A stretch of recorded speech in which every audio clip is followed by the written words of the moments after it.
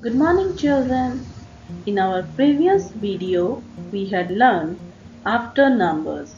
Today we will start before numbers. So let's start. Here you can see number lines. Right? Here it's written 0 to number 20 that we already know. So let's begin with our before numbers. Before. Before means the number that is in front of another number.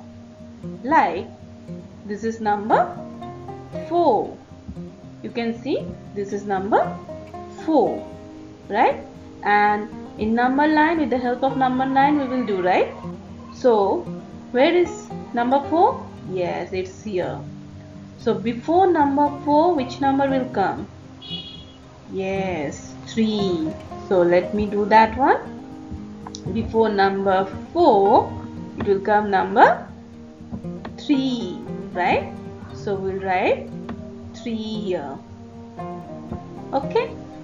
Now you can see the next number is number 6. And where is number 6 in number line? Here, right? So before 6, which number will come? Yes, you are right. Number 5. So before 6, number 5. So here also we can write number 5. The next number is number 8. And where it is number 8 in number line? Here, right? So before number 8, which number will come? Number 7 so we'll write number 7 okay. So after that here it's number 10 and in number line? Yes here it is. And before number 10 you can see number 9 right? So we'll write number 9 here. Our next number is number 12 here right? And in number line it's here. Very good so before number 12 it's come number 11 very good. So we'll write number 11 over here.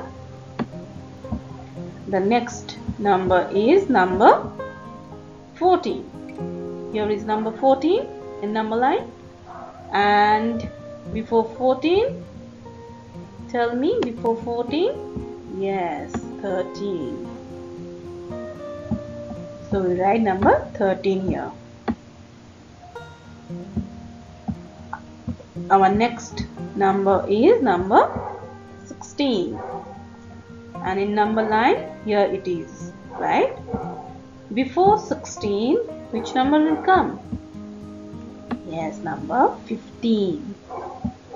So we can write number 15 here yes done and after that here it's number 18 so which number will come before 18 here it's 18 before 18 17 so we'll write 17 and our last number is number 20 and in number line here it is right so before number 20 which number is coming? 19 very good.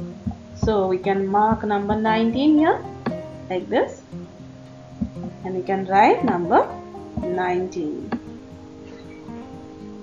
and we are done. Hope this video will helpful for you. Thank you